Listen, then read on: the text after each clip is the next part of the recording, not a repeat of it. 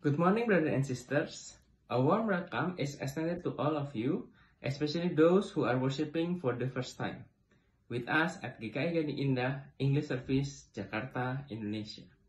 Your presence enriches us, and this is the time of celebration together. Today, we are celebrating the sixth Sunday in Lent with partial worship service.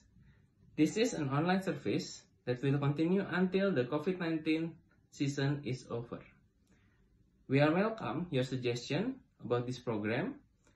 Please send your comment to this email at tugkigi at gmail.com. This is the day that the Lord has made. Let us rejoice and be glad in it.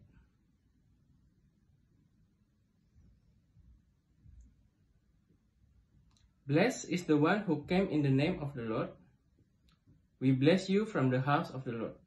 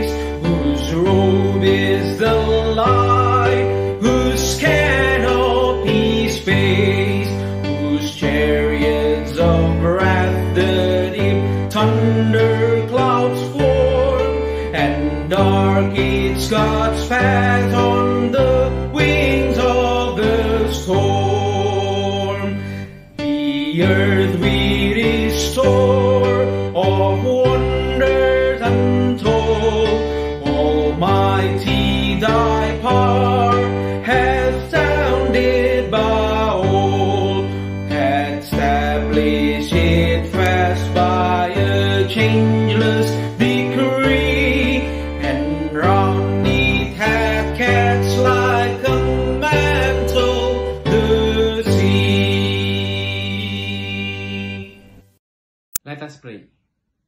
Our Lord Jesus Christ loved the world so much that he went to the cross for our sake.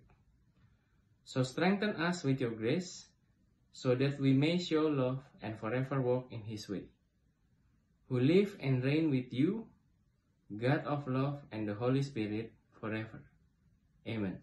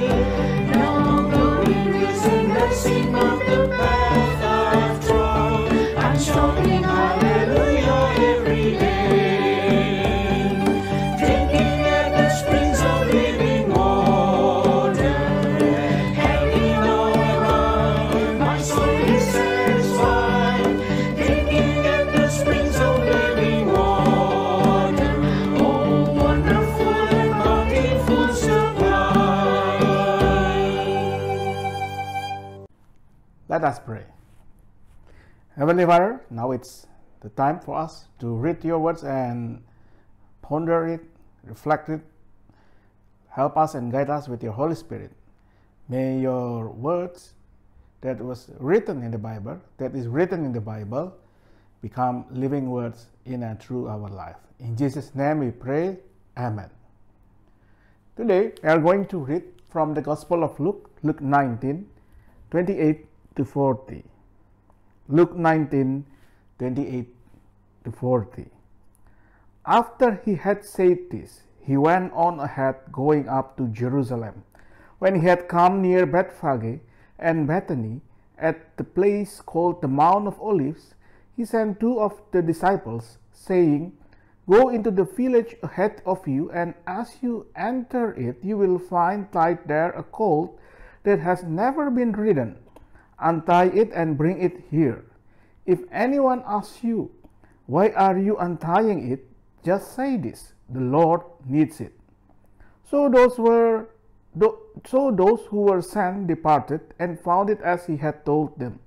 As they were untying the colt, its owner asked them, Why are you untying the colt? They said, The Lord needs it. Then they brought, brought it to Jesus, and after throwing their cloaks on the colt, they set Jesus on it. As he rode along, people kept spreading their cloaks on the road. As he was now approaching the path down from the Mount of Olives, the whole multitude of disciples of the disciples began to praise God joyfully with a loud voice for all the deeds of power that they had seen, saying, Blessed is the King who comes in the name of the Lord, peace in heaven and glory in the highest heaven. Some of the Pharisees in the crowd said to him, Teacher, order your disciples to stop. He answered, I tell you, if these were silent, the stones would shout out.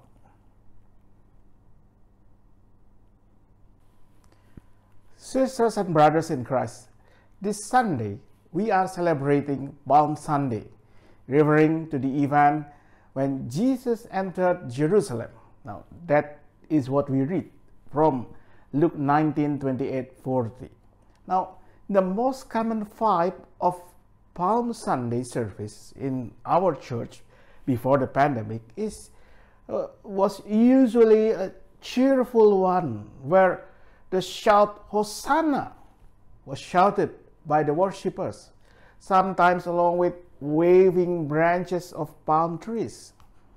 No wonder this is the time when Jesus was welcomed like a king by the people of Jerusalem. Now, this event also served as the fulfillment of the Old Testament prophecy regarding the coming Messiah.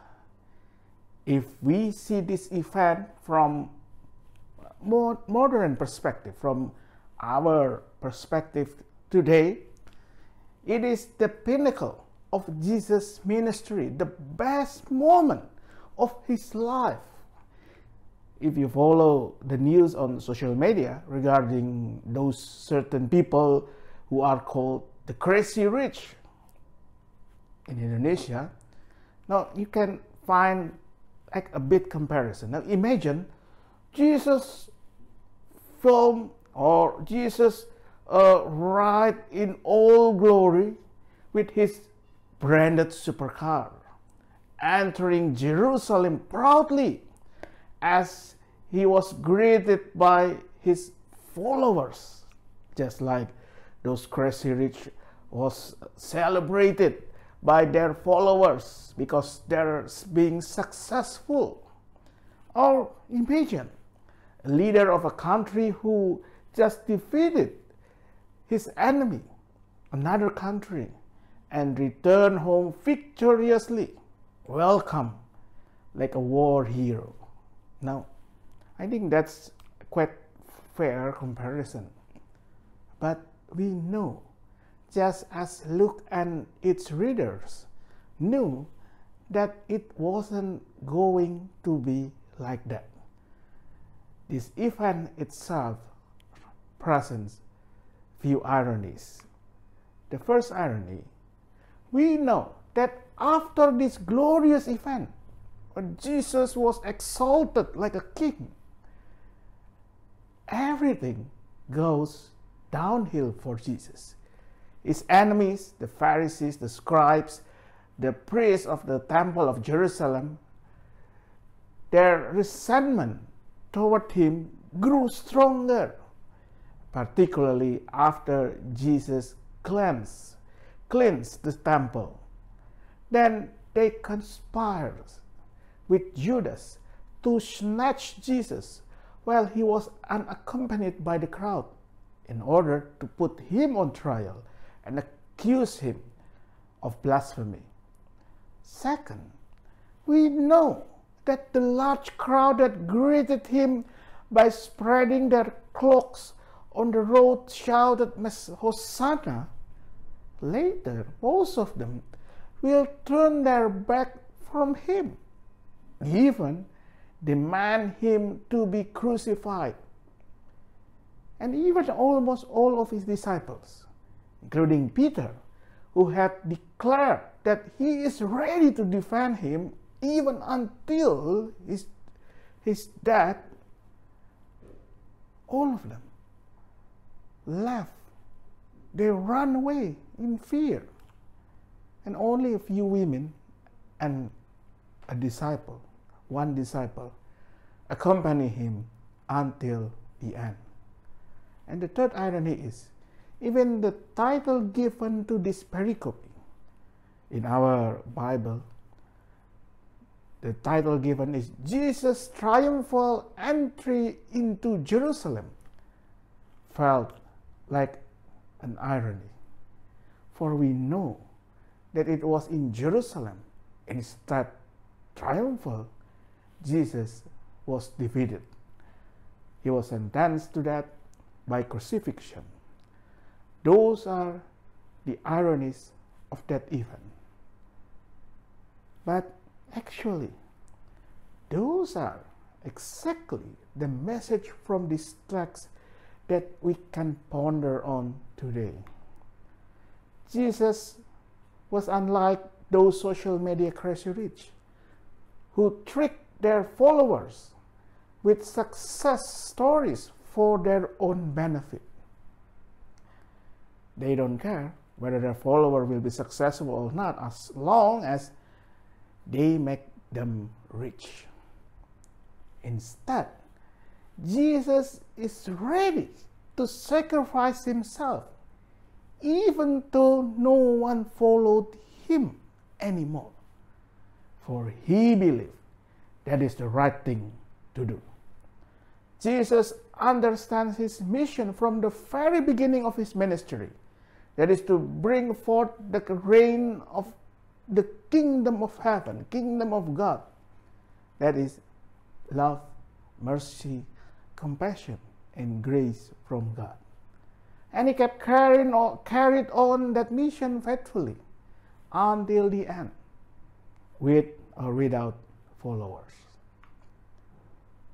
And second thing is, Jesus also really want to proclaim peace, shalom from God. Therefore, he chose to ride on a colt. Colt is a young horse or donkey upon entering Jerusalem as a sign of humility and peace. And this is not just a symbolic action. Jesus practiced peace and non-violence. He refused when his disciple wanted to fight his captors in the Garden of Gethsemane. He forgives those who mocked and humiliated him during his trial and crucifixion. For Jesus, peace is the only solution. Now, in comparison, some world leaders who wage wars always maintain that they actually pursue peace, while in reality, it is power and victory that they are actually looking for. But Jesus, in order to pursue and proclaim peace, he surrendered himself and become powerless in the cross. Now, sisters and brothers, this Palm Sunday, let us always ask ourselves Are we ready to follow Jesus, who proclaimed God's love, mercy, compassion, and grace? Do we really want to proclaim that, even though that means we have to sacrifice our time, our money, our energy, or our egos, things that seems to be unpopular in the world nowadays, where everyone just want the best for themselves. And secondly, do we really want to pursue peace and justice in our life? That means, are we ready to humble ourselves to serve others? Perhaps we can try it in, from our home. When we are willing to listen more than demand to be listened, when we are ready to serve than ask to be served, when we want to forgive than ask to be forgiven. Are we ready to follow Jesus?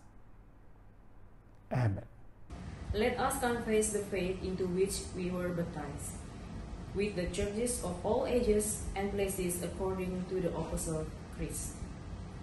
I believe in God, Father Almighty, creator of heaven and earth. I believe in Jesus Christ, his only Son, our Lord. He was confused by the power of the Holy Spirit and born of the Virgin Mary. He suffered under Pontius Pilate, was crucified, died, and was buried. He descended to the dead. On the third day, he rose again. He ascended into heaven and is seated at the right hand of the Father. He will come again to judge the living and the dead. I believe in Holy Spirit, the Holy Catholic Church, the communion of the saints, the forgiveness of sins, the recreation of the body, and the life everlasting. Amen. Let us pray. Heavenly Father, we pray for those who live in the conflicted areas around the world, those who live in fear of war, of losing their loved ones, or their own life. Help and strengthen them to bear all the hardship. Also guide the world leaders to always pursue peace and the well-being of their people rather than their own hunger for power. We pray for our nation, for all effort to pursue the well-being of our people. We pray for our leader. May you grant them wisdom to lead this nation. We pray for our church, whether worship in person or online. Let our communion and worship empower us to always be a blessing for others. We pray for our families. Heal those who are sick. Strengthen those who are struggling.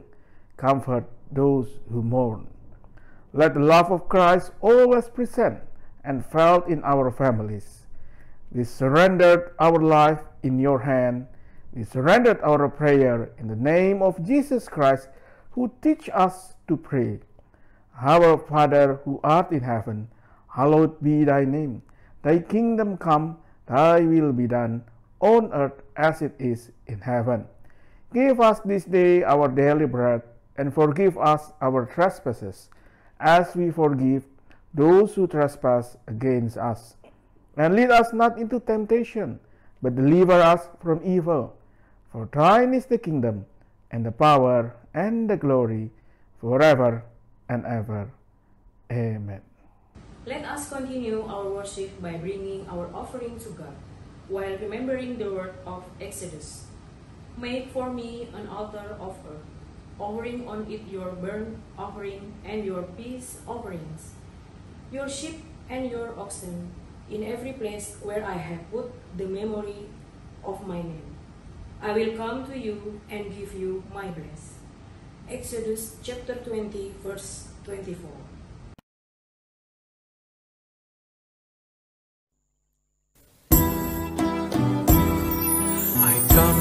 Like a beggar with a gift in my hand. I come like a beggar with a gift in my hand. By the hungry I will feed you, by the poor I make you rich, by the broken I will mend you. Tell me which one is which. I come like a prisoner to bring you a key. I come like a prisoner to